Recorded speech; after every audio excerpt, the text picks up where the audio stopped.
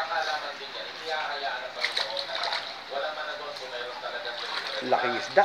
Korupsyon ang kapagilaan. Pero dahil kulang ang boto, kahit na honest sila lahat ng mga tabi Butanding. Hindi talaga magkakasiyan ang. Okay? Para sa mga lahat ng nangangailangan. Dahil yung 18,000 families plus 5 million families, 18 million plus 5,000 families. 18 million at 5 million families, Bye-bye. hindi ho yan ang totoong nanghihirap sa Pilipinas. Hindi lang sila. Wala. Dadagdagan pa yan ang panahon na tayo tamaan ng coronavirus Oh. sa Pilipinas. Dumami ang bilang ng mahirap. Pa? Oh, kaya ibig sabihin